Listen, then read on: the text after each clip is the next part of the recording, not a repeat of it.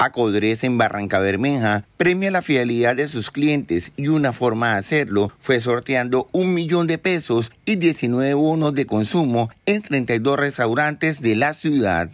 Hoy aquí en el parque infantil hicimos eh, la rifa y vamos a hacer en estos momentos la entrega del millón de pesos. Estamos esperando que llegue el ganador. Entonces, estamos felices de poder eh, entre restauranteros apoyarnos y buscar siempre dinamizar el gremio. Eh, bueno, la, invitación es a que consuman en los restaurantes afiliados y los restaurantes que eh, no hacen parte aún de Acodres son bienvenidos para que vengan y, hagan parte de este bonito gremio que es Acodres. Todo el tiempo tenemos actividades, tenemos capacitaciones, tenemos eh, diferentes actividades como nos reunimos para mirar cómo podemos dinamizar el comercio, esta vez fue eh, una tómbola con premios y todo el tiempo estamos haciendo actividades.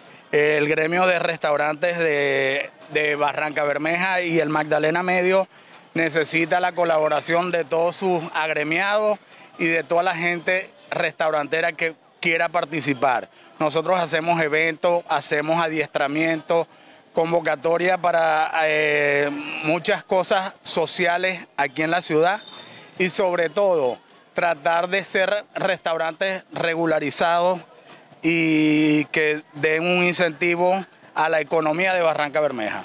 Cristian Daniel fue el feliz ganador del millón de pesos en ese sorteo que se realizó en el parque infantil.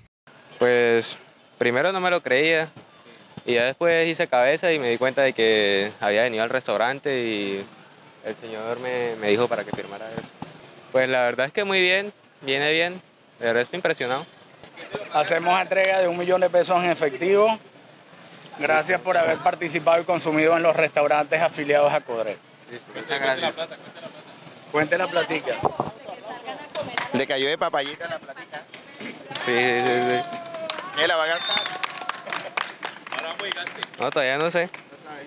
Con este tipo de actividades, Acodres Capítulo Barranca Bermeja busca seguir incentivando a cada uno de los barranqueños para que continúen promoviendo la economía en Barranca Bermeja.